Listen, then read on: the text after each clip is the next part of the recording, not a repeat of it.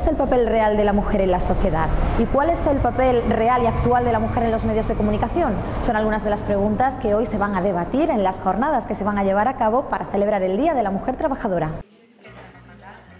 Analizar el papel de la mujer en la sociedad por medio de actividades y ponencias es el trabajo diario de la cátedra que quiere darle a la mujer el papel que merece. Aunque el movimiento de las mujeres es notorio y por medio de él se han conseguido importantes logros, lo cierto es que aún queda mucho camino por recorrer y muchos objetivos por conseguir.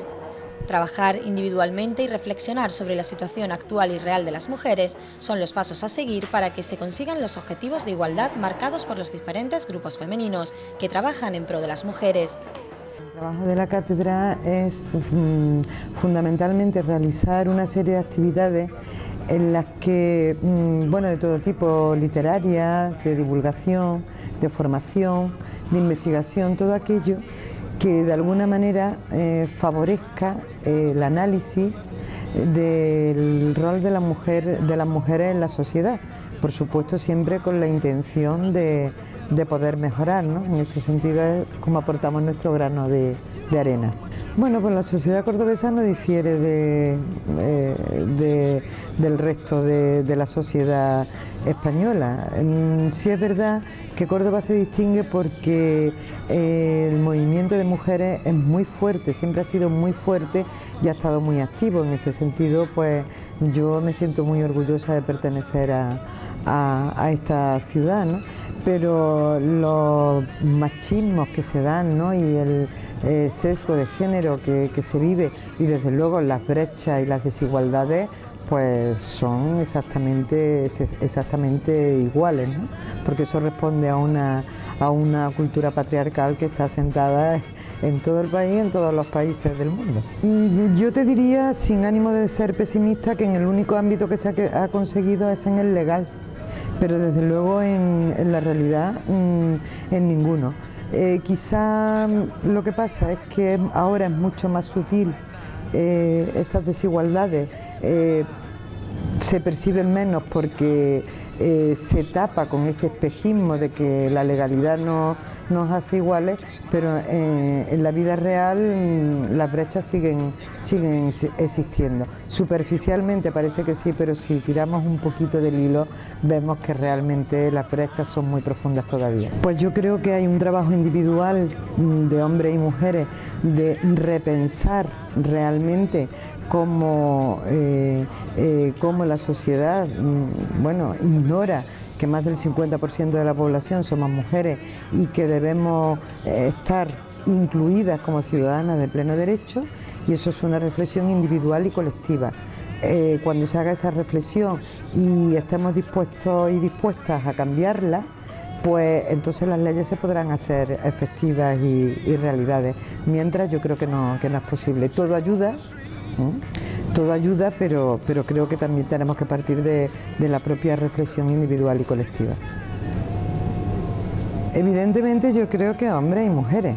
Eh, las mujeres porque es que todas y todas hemos participado de la misma, de la misma cultura, ¿no?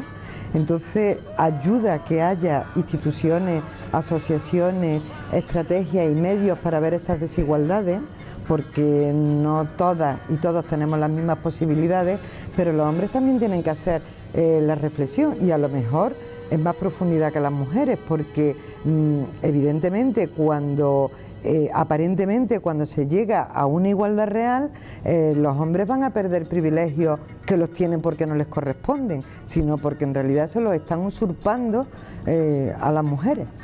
Bueno, pues eh, la actividad que vamos a, realizar aquí consiste en presentar un debate y un informe eh, que va a presentar el Consejo Audiovisual eh, Andaluz, bueno, sobre cómo las mujeres están representadas en los medios de comunicación.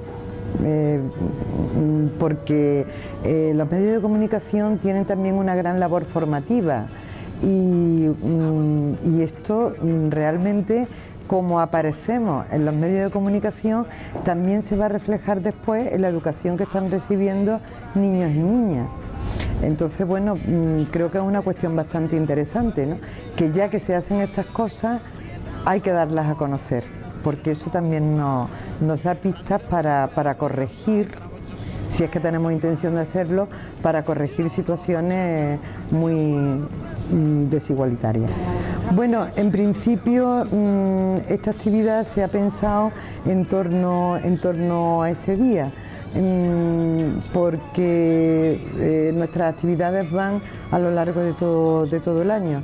Entonces también es verdad que es un, mes donde especialmente hay mucha incidencia de, actividades y bueno, en realidad vamos las mismas, los mismos a distintos sitios, ¿no?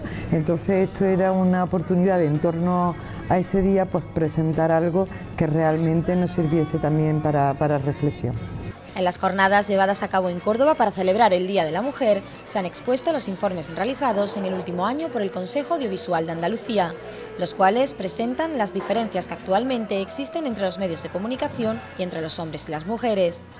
Desde el año 2009, que es cuando se realizó por primera vez este estudio, la situación ha mejorado, pero aún sigue siendo desigualitaria mientras que las mujeres solo ocupan un 30% de los puestos de trabajo a la hora de informar sobre las actividades que realizan estas en el deporte, su aparición en los medios se reduce a un 2%. Son números muy pobres y que tienen que cambiar. Por y para eso también trabaja el Consejo Audiovisual. Nosotros tenemos la función fundamental de hacer un seguimiento a los medios audiovisuales, tanto radio como televisión, para velar porque cumplan la normativa y conseguir además que mm, promuevan determinados valores. Uno de esos valores es el de la igualdad. Tenemos encomendado por nuestra ley de creación el conseguir que los medios de comunicación sean un instrumento de promoción de, la igualdad en nuestra comunidad. Nosotros hemos elaborado una serie de indicadores objetivos eh, en base a los que hacemos informes anuales relacionados con la, la, imagen que se transmite de la mujer, por ejemplo, a través de la programación informativa, de los programas de entretenimiento, de la publicidad y aunque se va mejorando a raíz de que publicamos estos informes del año 2009, pero los avances son muy lentos. Por ejemplo, eh, en estos momentos eh, las intervenciones de, las mujeres en la programación informativa, analizamos 20 televisiones públicas, eh, pues ronda, no llega al 30%. en algunos ámbitos, como es el ámbito del deporte, solamente eh, un 2% de los, de los deportistas entrevistados son mujeres, lo que no se corresponde con el papel y la importancia que tiene, por ejemplo, el deporte practicado por mujeres en nuestro país, no por los éxitos deportivos. Entonces ahí eh, detectamos una subrepresentación de, la mujer en los programas informativos no correspondiente con el papel que desempeña la mujer en la sociedad, ni en el ámbito de la política, ni en el ámbito de la universidad.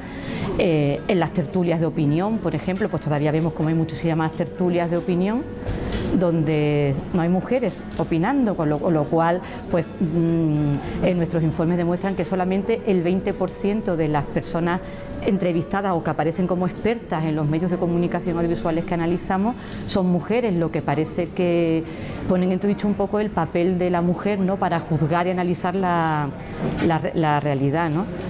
En los programas de entretenimiento pues detectamos todavía muchísimos programas que difunden eh, mensajes o modelos de conducta sexistas, lo cual es preocupante sobre todo entre cuando son esos mensajes, esos modelos pues son percibidos por los menores de edad. En ese sentido lo que planteamos es que, eh, pues que se emitan en las franjas horarias infantiles pues contenidos que promuevan la igualdad que, ayuden a, erradicar la violencia de género y no todo lo contrario. Eh, hacemos actuaciones, intervenimos a través de los análisis que hacemos nosotros y también a, través de quejas que pone la ciudadanía. En ese sentido, pues por ejemplo, hemos retirado de franja horaria infantil pues algunas telenovelas que hacían una cierta apología de la violencia de género.